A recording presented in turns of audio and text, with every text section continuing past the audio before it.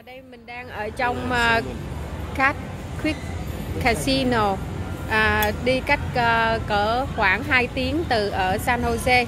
Và mình vô trong cái uh, nhà hàng ở trong đây mình ăn nè ha. Và đây là món ram rib thịt bò. À, Anh xã kêu rare, um, à, no, medium. Nó sẽ có thêm một phần uh, rau, salad hoặc là súp và nước uống với lại uh, dessert là sẽ tính chung. Rồi đây. À, một phần ăn như vậy nó sẽ là 27 đồng ha. Và mình bên đây là mình kêu cá cá salmon. À, tự nhiên có đậu và mashed potato ở bên này. Và bây giờ là mình sẽ coi uh, anh xã ăn cái thịt bò như thế nào ừ. rất là mềm. Thịt bò nó có ướp sẵn không? Không có. Ồ không có ướp hả? Nó có bỏ một lớp muối cho wow.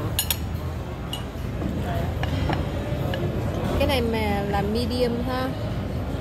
Thường thường thì mình kêu medium nó sẽ đỡ khô. Và mình khi mình ăn lâu đó thì nó sẽ không có khô lắm cho em cái, cái phần bìa. Và tới phiên mình sẽ thử một miếng cá nha. Cá này là cá salmon.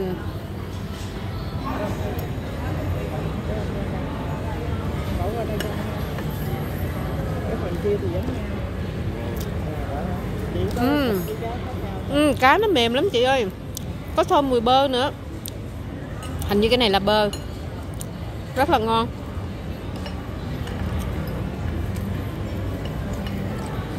Uhm. đậu thì có cảm tưởng hơi già một chút. Và đây là mashed potato. Chưa em chưa đang ăn đang ăn. Ừ. Ừ. ngon. Đang ngon. nhà hàng chứ đâu. chị ơi đáng đồng tiền chị ơi. đâu. đáng đồng tiền và sau khi mình ăn cái uh, main dish ờ, là cái món chánh ha thì mình sẽ lấy uh, dessert tức là món ăn tráng miệng. Nó đã bao gồm trong cái uh, cái tiền rồi. Và kể cả nước uống mình cũng sẽ muốn uống bao nhiêu cũng được. Và cái đó là uh, nhà hàng Harvest Dining Hall ở trong uh, Cat Creek Casino một một phần ăn như vậy là từ 2, 27 đồng cho mỗi người ha. Tổng cộng là nó có là ram rib là mới nãy mình đã kêu nè. À, gà tôm salmon salmon là mình có kêu nè. Hoặc là Mongolian beef là tức là thịt bò nấu theo kiểu của Mông Cổ. Và sweet and sour chicken là à, gà chua ngọt theo kiểu của tàu.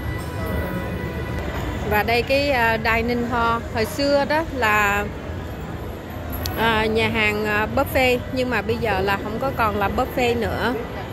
Khi nào các bạn à, có mà đi à, tới đây thì vô đây ăn ha. Cái ram rib nó thật thật thật là ngon rất là ngon.